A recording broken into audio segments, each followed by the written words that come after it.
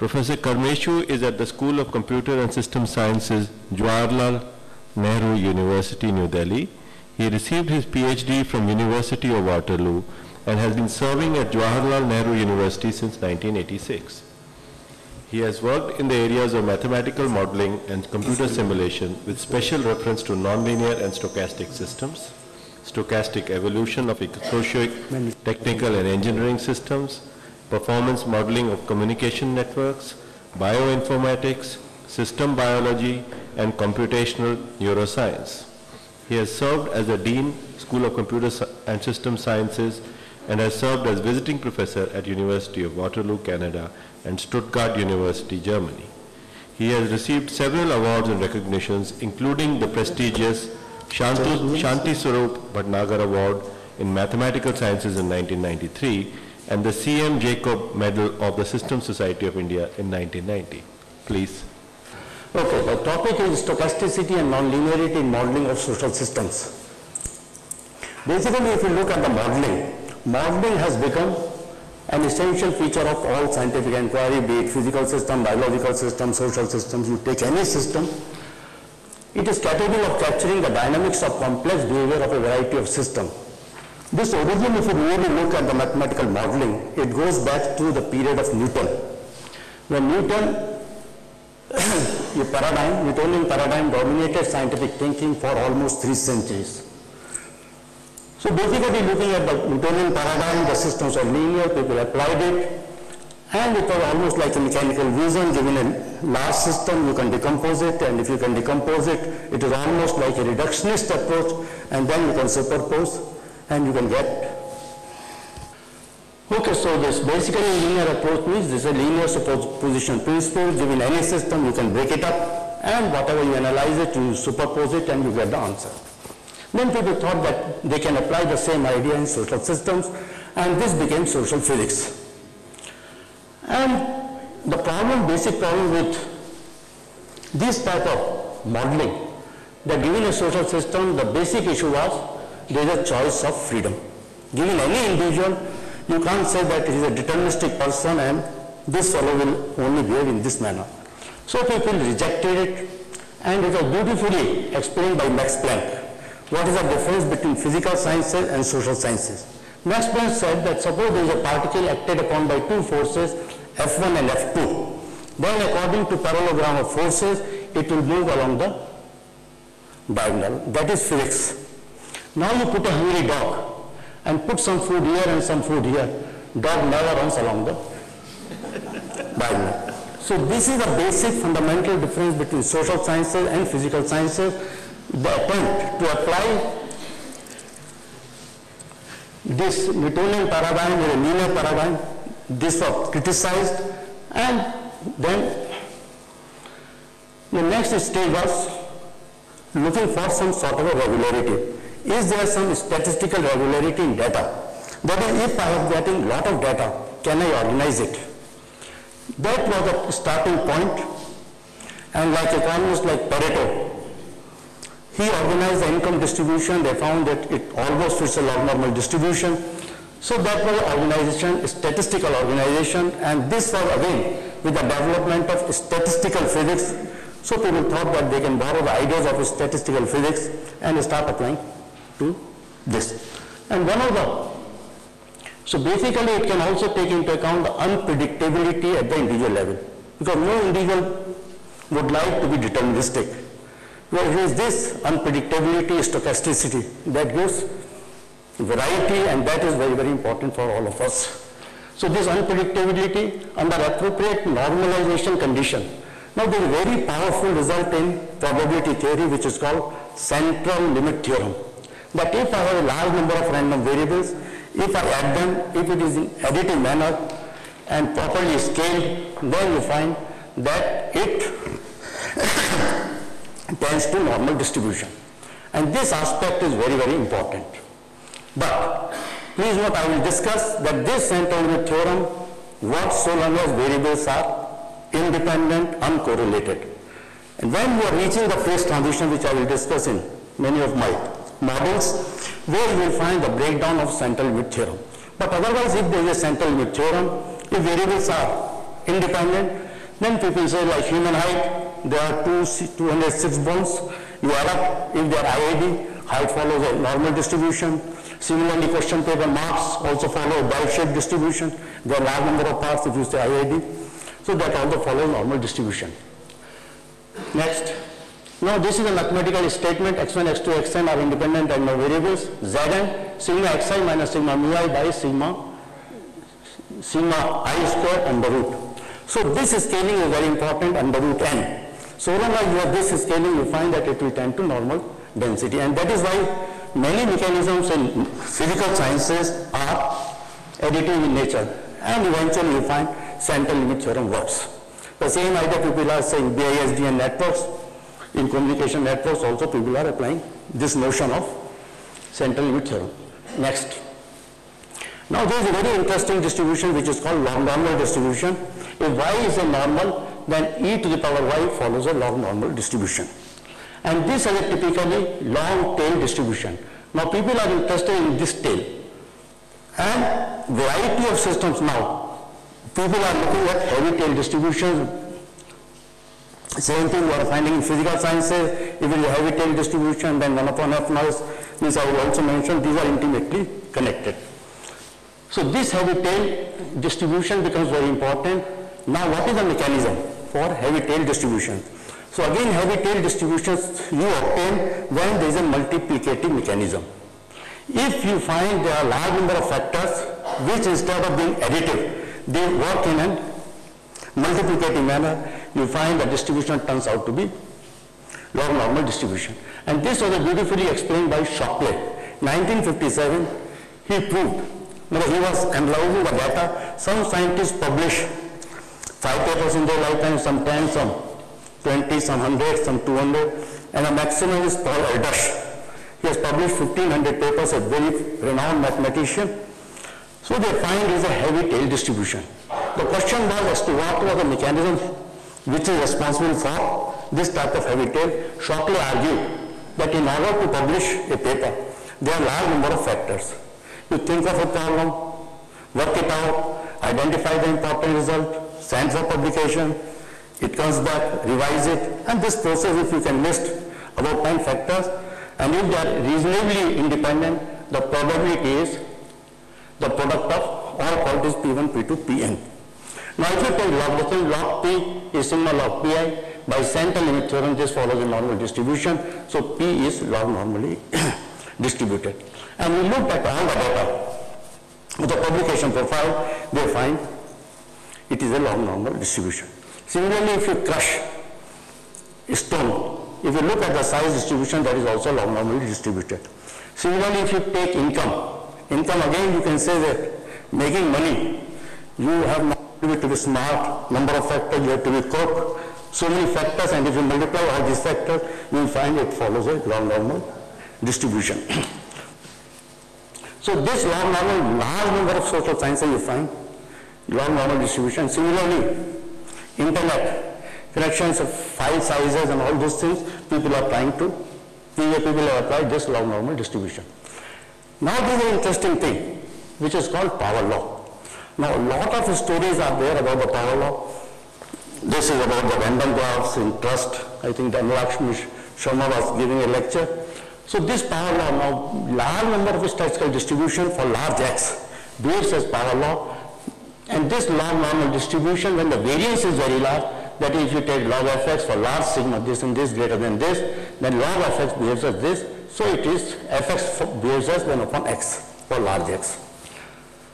So this normal distribution has the capability of mimicking. Similarly, people have seen, if you take the income distribution you find that it was log normal distribution, but the tail is something which depicts a power law behavior. Like 5% of the persons make money not because of this multiplicative mechanism, but because of amplification mechanism. And this aspect was tested Elliot Montroll, who was Einstein professor at Rochester University, very interesting person. He wrote a book on social physics. So he argued that, like Beatles, made money not because of this, but it was amplification process and that led to the development of power law mechanism. Next. So power law is fx is x to the power minus gamma. And similarly, you have Pareto heavy tail. Interestingly, whatever Pareto did, almost more than 100 years back, these ideas people are applying now, all this internet, the World Wide Web, you are finding that this distribution, Pareto distribution is being applied in those contexts. So these heavy tail distributions have become very important in so all biological sciences. If you look at R- this DNA and RNA, so you find it is a heavy tail distributions which fit. Similarly, you say earthquake engineering, these heavy tail distributions which fit. Similarly, if the heart in, gets into fibrations, it is a heavy tail and this heavy tail is intimately connected to 1 upon F noise. And if it is 1 upon F noise, like semiconductor noise is 1 upon F noise, heart is 1 upon F noise, physiological systems are 1 upon F noise, soil variability is 1 upon F noise. So every year in Tokyo they used to hold a conference on 1 upon F noise. You find a large number of things, you bang the door. Again if you use spectral analysis for low frequency you find it is 1 upon F noise. Next. So this is again a scale-free properties which is very important. That is, if these are the power law, then it depends on the absolute scale that is. So the ratio B upon A, that is very important. And same thing they are also find in the stock market. All stock market is essentially a power law type of behavior. If you look at the Black-Scholes model, it gives a geometric log normal process, but for large this, you have to mimic the behavior which is a power law. They are finding the tail is a power law behavior. Somehow nature chooses power law very much. Next. So now linear and non-linear. Now Newtonian equations are very general, appropriate both for linear and non-linear phenomena. Researchers generally avoided the investigation of non-linear systems and resorted to linear approximation. That was a story around 60s. So you take any non-linear system, you linearize it, and you solve the system. And whenever there was a non-linearity, it was some sort of a, some aberrations was there and you can just approximate it and get the solution. So scientists dismiss non-linearity simply as annoying. Nature is relentlessly non-linear and this was particularly last 30 years. People have realized that it is a non-linearity of the systems which is very, very crucial for understanding and particularly in all social sciences, it is a non-linear aspects which are very, very crucial. So non-linearity introduces the possibility of systems with multiple equilibria. Now what is interesting is that linear systems are only capable of depicting a unique equilibria. But if the systems are having multiple equilibria, it is a non-linear systems which are capable of this. So non-linearity introduces a possibility of systems with multiple equilibria, bifurcation of solution, chaos, and so on. and there is a new field which has emerged now, which is called science of complexity. Santa Fe Institute in New Mexico has started a center where there's six Nobel, I think Anderson is there, Kenneth Arrow is there, there are two, three or four Nobel laureates and number of scientists and they are trying to understand the brain, they are trying to understand the stock market. So Citicorp had funded it extensively, where there are physicists, biologists, mathematicians. So study of nonlinear systems have become possible mostly due to the computing power. Again, if you go back, this nonlinear appreciation was there with Poincare. Poincare had idea about this nonlinearity, but the French group, I think they're very, very strong mathematicians, outstanding. So that appreciation with Poincare was there, but things to be dismissed. So I think 1970, so next. So basically all this work, synergetic by Hermann Haken at Germany, he started the field of synergy that is a self-organizing system. If there are large number of particles which are interacting, the system self-organizes it is a nonlinear interaction which can give rise to this. Similarly, dissipative structures, Prigogine, electrogene started that system driven far from equilibrium, system can depict multiple equilibria. What did, he says given a system, when you are reaching the critical point, suddenly you find the large number of variables say, thousands of variables at the critical point, there are very few variables which become important and these are called order parameters. So any dynamical system, if you want to analyze within the, in the vicinity of critical point, it is a very few parameters which become important and those he called as order parameter. That is basically idea of Haken and he almost published 100 volumes Springer Verlag on synergetics. Then Ilya Prigogine got Nobel Prize for his work in thermodynamics far from equilibrium and these ideas he applied to cancer research societies and variety of, that is a very interesting book. Then Rene Thom, catastrophe theory, he is a field medalist who proved that given any dynamical system, there are different types of catastrophes, butterfly, this and this, chaos. So given this suddenly system, you find that as you are changing the control parameter, suddenly the critical point system jumps from one level to another. This discontinuous jumps, that is what was interesting to so social systems modelers. But given this, one can also analyze system depicting a sudden change. So synergetic and dynamical system development, bifurcation theory, chaos theories, advanced nonlinear stochastic modeling, complexity theory, and so all these developments, particularly last 30 years, became so important that people got interested in social modeling and so in US I was seeing at MIT, many people got into physicists, electrical engineers moved into transportation system. Suddenly they could analyze a nonlinear dynamical system which are closely related to the traffic flow modeling. Next. So now what I will do, I will take some problems, modeling innovation diffusion, then I will discuss modeling political hostility. If time permits, I can also go over and discuss competing social groups and some growth of knowledge, the Kuhnian paradigm, how knowledge grows. So what is an innovation? I think Swami is, uh, Swami is here. So innovation is an idea, practice or object that is perceived as new by an individual or other unit of adoption. This newness of an innovation may be expressed in terms of knowledge, persuasion or decision to adopt. So this innovation may be for a group. It might be a new idea for a group and that we will say an innovation. It might be old thing but for a group, the target group, if it is a new thing then it is an innovation. So diffusion of innovation has been, again diffusion is not spatial diffusion, it is temporal diffusion that given, suppose you launch a practice, suppose there is a practice, how people come to adopt it over time. So historically market person, sociologists call it diffusion, but physicists call it diffusion means over space. But this diffusion is temporal, by which that innovation is communicated through certain channels over time among the members of social system. Rogers has listed about 20 disciplines in which diffusion of innovation is important, geography is important, agriculture it is important. So now particularly after marketing persons, when they found that because there is a vast amount of data giving this, then one launches a product in the market, then the question is what is the growth profile of this and what is the optimal time when you will have the market, maximum market penetration and what is the optimal time for introduction of a new product. So basically next, so basically the story is that it is a S-shaped curve. All innovation you find a typical S-shaped curve. Initially it is slow, then it accelerates, that is somewhere there is a point of inflection, then it tapers off. That is a story for how innovation diffusion. And there is another phenomenon which I am not addressing today, that is a critical mass. Because critical like diffusion of innovation in the context of product, say television or this, this will be typical like this. But if you are talking about interactive mass, for example, fax machine or email, email is only important others have email access.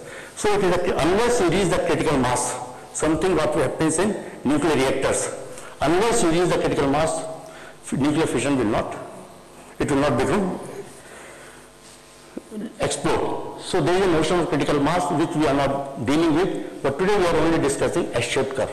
And then what I will discuss, different versions of this model. If I make this parameter random variable, you find a host of new phenomenon. If I make them stochastic process, there is another phenomenon. Simple model, which is a nonlinear model, which can give rise to different variety of things. Next. So innovation Information about the innovation, social system where the innovation is introduced. ID consists of adoption through mass media and interpersonal communication. So given the product, now what are the channels of communication? One is mass media, like television, radio, everything. You said that is a mass media and interpersonal contact are word of mouth. A person who knows the information and who doesn't know. It is something akin to what we have in epidemics. like interaction of susceptibles and infectives. When they interact, susceptible and infective interact, this, through this there is a transmission of disease. And there is a time. Next. So now basically this, a person, whether a person comes in contact with the other person who, who has infection or a person who is a adopter of a technology, other person who is not, it, this interaction is stochastic in nature, whether you meet or not. So there is always an underlying probabilistic structure. And what we do, so mathematically one can say that n into n plus 1, that I'm sorry, the transition it takes place n to n plus 1 in time t and t plus dt, it is alpha n minus n plus this plus 0 compared to delta t. And this is called, and there is a death. Suppose there is a loss of interest. A person who is, n is a number of spreaders, they lose interest and it becomes n minus 1 in time t and t plus dt. It is mu and delta t, 0 compared to delta t. So mathematically it is a well-known birth and death process. But it is a simple model, looks, and this is like a order parameter system evolved because there a large number of capital N is the total population in the spot. In the group, target group, it could be 10 to the power 6 of that order. Alpha and beta are the parameters and it is nonlinear interaction n into n minus n. This is a nonlinear stochastic process and because of this nonlinearity word of mouth, no explicit solution is available. All nonlinear stochastic systems, the problem is if I want to find out the first moment, for this n bar, I will get n square bar. If I want n square bar, I will get n cube bar. So I get an infinite hierarchy of moment equation and how to truncate it that is a question that you have some diffusion approximation techniques. For large n, you have some approximation. And this is the story with all nonlinear stochastic systems and typically here our weather forecasting system. All Navier-Stokes equations are highly nonlinear and stochastic and that is the reason whatever we may do because the predictability of nonlinear stochastic systems is very, very almost impossible. So same thing we have to do in this case. So lambda n is a birth, alpha is a mass media, beta is a interpersonal contact, mu is a loss of interest, the person who may join them adopt and he may lose interest. For example, now recently a paper came by Eitan Muller, like service industry. Given the service industry, one can move from one services to another. So it is a loss of interest and exactly it is the same model this is a pure deterministic model, but we have a stochastic version. Now given dpn by dt, dpn is the, this is called master equation. Mathematically it is called Chapman-Kolmogorov equation. Physicists call it master equation.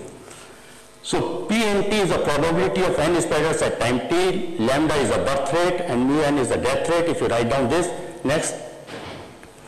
So one can write down N is the total population, alpha is the transmission intensity, beta loss of interest, deterministic analysis, let us forget all stochasticity. Then this is a simple nonlinear differential equation. Now we will depict and then we will see, okay now, let's go back to, the, if we say mu is zero, then this is the famous Bass model in marketing and thousands and thousands of papers have been written on this. And I was surprised that I was visiting 95, the marketing department in Austin, Texas. William, he, I was told that out of 10 chairs, and out chairs, 7 chairs have gone to Indians. And one is Vijay Mahajan is chemical engineer from IIT Kanpur, one is Deepak Jain, is Dean of Prague Business School, he is a statistician. So all these persons, so these chair professors are Indians. But somehow in our country, marketing is totally non-mathematical. I think Dr. Benvat has to answer that question. Now we will see some very interesting aspects. I think Swami is mathematical. I'll explain this Swami. Alpha, beta. Now suppose there is no loss of interest, it becomes a Bass model. Another thing is, okay, that is a story of Bass model, lot of data and everything people can analyze. Now interestingly, let us look at the physics of the problem. Let us introduce a parameter omega. Alpha by beta, a measure of relative strength of the source and an individual. If you want to analyze it, if alpha is a mass media, beta is an interpersonal contact. If omega is order 1, it means the entire source is equivalent to single individual in the population. And D is the mean number of contacts a spreader makes during his active period and beta by mu. Now we get a very interesting bifurcation that is a threshold phenomenon, put alpha equal to zero. So there is no mass media, word of mouth and loss of interest. We find the differential equation is d by dt phi t 1 minus 1 upon d phi minus phi square. This equation in the equilibrium d phi by dt equal to 0 that has two solutions phi equal to 0 and phi equal to 1 minus 1 upon d if you say n 0 and now that because this differential equation has two solutions this and this now if you carry out the stability analysis, you can prove that when D is less than 1, system gets into state 0. When D is greater than 1, the system gets into this. And this next, and this is a typical bifurcation point. So long as D is less than 1, diffusion of information will not take place. Innovation will not diffuse at all. Only when you reach the critical point 1, you will find from zero diffusion it becomes a macroscopic diffusion. So, so all strategies, if you want that it should diffuse, then you have to cross this particular point, d equal to 1, which is the critical point of the system. Next. Now there are points of stochastic analysis, what are points of similarities and dissimilarities between deterministic model and stochastic model. But one can, interestingly, if you carry out all this, you find d less than 1 you find the probability distribution become a geometric distribution. When D is greater than 1, it becomes a quasi-Poissonian distribution. That is something akin to phase transitions when you are reaching like water going into ice. As you are changing the temperature, suddenly you find the system goes from water to ice and that critical point is very important. And there is a relative fluctuations also you find you are, as you change the parameter D, you are making a transition from disordered transition to ordered state. So whenever there is a bifurcation, the fluctuations at the critical becomes so large, it is the fluctuation which drive the system where to go. So this is typically what Prigogine said. If there is a control parameter lambda system is evolving like this, suddenly at this critical point lambda 1, system can bifurcate and there are two possible solutions. Now which state system is going to occupy depends on the fluctuations. And if system chooses this state, you are here. If system chooses this state, or if it is a trifurcation system could have gone. And if it goes then, then it can bifurcate, it can trifurcate, it can say. So if you are here, then it is, if you had occupied this path. So these fluctuations are important here, these fluctuations are important. So what they say it is a chance and necessity. Jacques Monod said whole biological evolution is nothing but interplay of chance Chance is here, necessity is determinism. So both determinism and chance, they are very important in the entire evolution. So stochasticity has an important role when you are close to the critical point. And once you cross the critical point, then it is all deterministic way. Next. Now next, I can discuss this innovation diffusion with multiple adoption level. Actually, as the diffusion unfolds, the parameters alpha beta, they can also become state dependent. Now beta becomes a state dependent. Well, let us take delta equal to 1 is the Bass model. When delta equal to 2, it becomes a deterministic equation like this and then we can discuss the stochastic equation. This is n by n whole square. So it is n square, n square into n minus n is n cube. So this is a cubic equation which can have hysteresis effect. Next. Now as you are changing the parameter beta and given for a mu, you find there is only for mu equal to this, there is only one unique solution. And as you are coming here, as you are changing the parameter beta, you are on the lower branch and suddenly when you reach C, it makes a jump from this to E. And then you are on the upper branch. In order to retrieve this from F to E, if system doesn't make a jump here, you have to go all the way up to B. And this is the statistical effect which we find and if this is a statistic effect, then one can look at the stochastic analysis. If you look at the, one can write down the stochastic differential equation where W1, W2 are the Wiener process. But since Wiener name came also, I can tell you on the lighter side, Norbert Wiener was a great mathematician of MIT, one of the outstanding mathematicians, international mathematician. He was very absent-minded. He started the field of cybernetics. Once his wife told him that we are changing our house. So that process, all this Wiener process is all great achievement. After that, all stochastic differential equation work. So if you write down the stochastic differential equations and if you carry out the analysis next, Similarly, you can have nonlinear Fokker-Planck. Next. Next. Okay. Now this is an interesting thing. When you have systems which are nonlinear, they can have bimodal distribution. System has one mode here, then next mode here. System has two modes here and here, and this is unstable. System has one mode here. So here what we are finding, when beta parameter slightly changes, you find system goes from high probability, low adoption level, high adoption level, low probability. Here it is almost equal probability at low adoption as well as this. And this is low adoption and high adoption with high probability. So to design control policy for promoters of innovation in the form of strategies requiring parameter trajectories to remain outside or within the cusp depending on the level of adoption. So if one is interested to push it, so slightly changing the parameter one can push into this state. So Brian Arthur says, who is at Stanford University, he says where there are multiple equilibria and a central authority favors a particular one. It can of course attempt to tilt the market towards this outcome.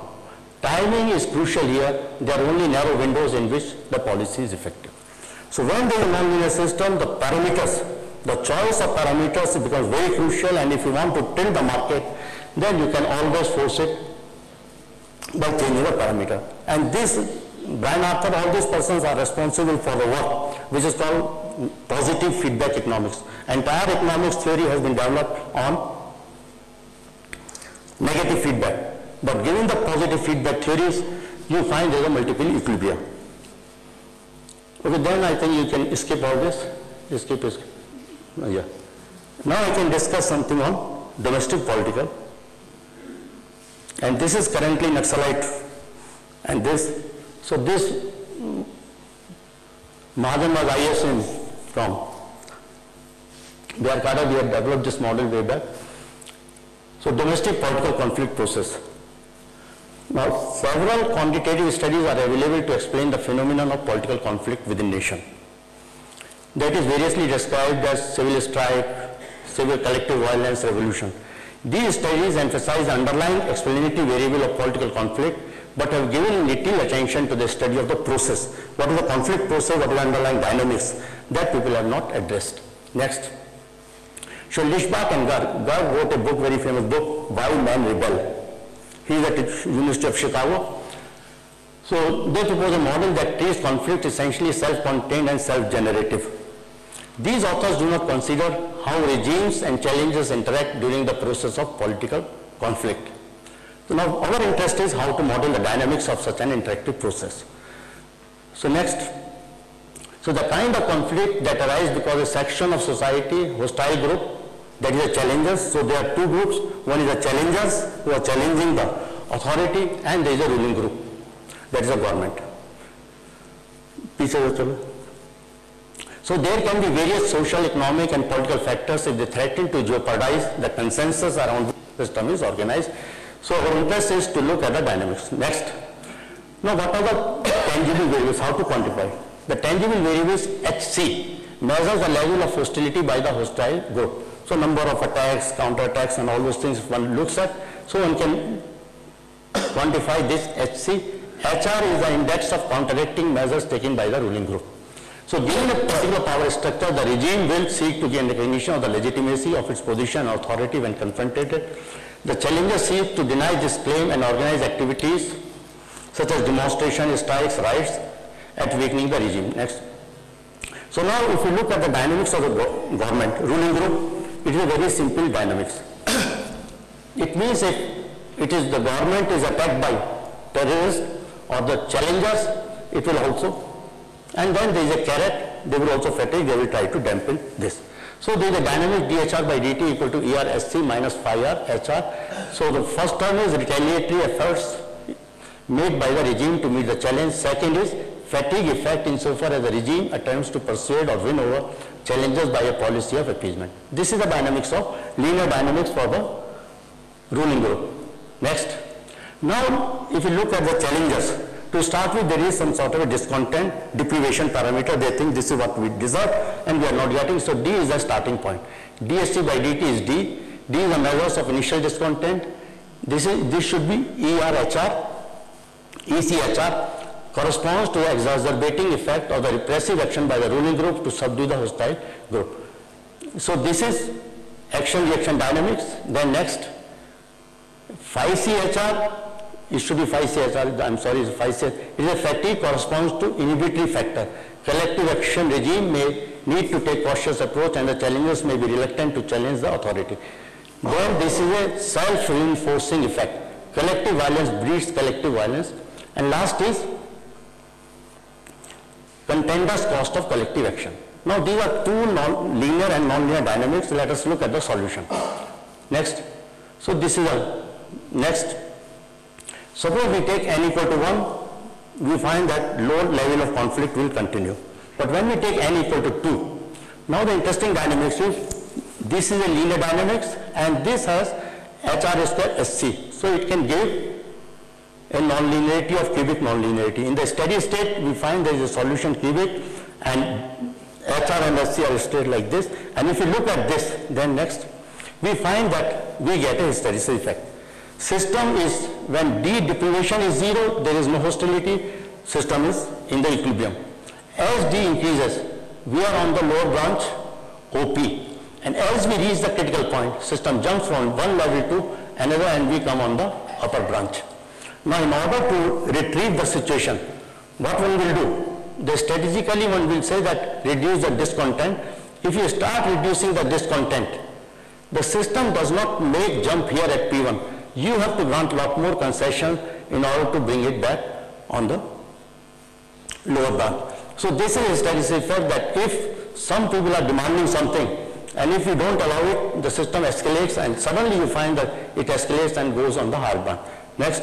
And this is a beautiful hysteresis effect. I think actually this, I can't do it properly here. So this is face of a man, face of a man, face of a man, face of a man, face of a man, face of a man. This is a lady. And this is lady. And if you are going back, then we find the system is lady, lady, it can be lady. So it is a visual hysteresis effect. As we are moving in this direction, our perception is changing here. If we move in this direction, so that is a hysteresis effect in visual perception. Similarly, we can have higher order of nonlinearity and system can jump from one level to another. So similarly, the stochastic effects, if we look at the adiabatic elimination, then we find the system's dynamics with white noise and if we write down the Fokker-Planck equation, then the solution is next. System has a, there is a consensus around which the whole system is organized, there is a unimodal distribution. As we are changing the parameter, system is getting flattened and flattened, the distribution flattened. And suddenly you find when you are reaching, because here you have no idea whether system is going at a low hostility level or at a high hostility level. As you are changing, suddenly you find systems can get into low hostility level with this probability and you can get into this with high probability. Which state system is going to settle down, that is crucial. Only the dynamics of the system will decide and nobody can do it. So only thing is you can change the probability, but beyond that probability, we have no control when we are dealing with a nonlinear stochastic system. So basically, one can, because the idea is that all these nonlinear stochastic systems are important in the sense there is interplay of stochasticity and determinism. And it is this interplay which is very, very crucial in the governing dynamics of the stochasticity and the multiple equilibria, which is important in all social dynamics and that is the reason that you find these models are, this is quadratic nonlinearity. If you go to third level of nonlinearity, third level of nonlinearity, if there are three coupled nonlinear differential equation, this is also mathematical result, it can lead to chaos. If it can lead to chaos, the cognitive level of comprehension is not possible. You have to resort to mathematical modeling. And all these mathematical models in social sciences, one should treat it as if they are giving you, providing some information or verbal discussion. It can clarify many of the verbal concepts. It is in that spirit it should be taken. Thank you very much.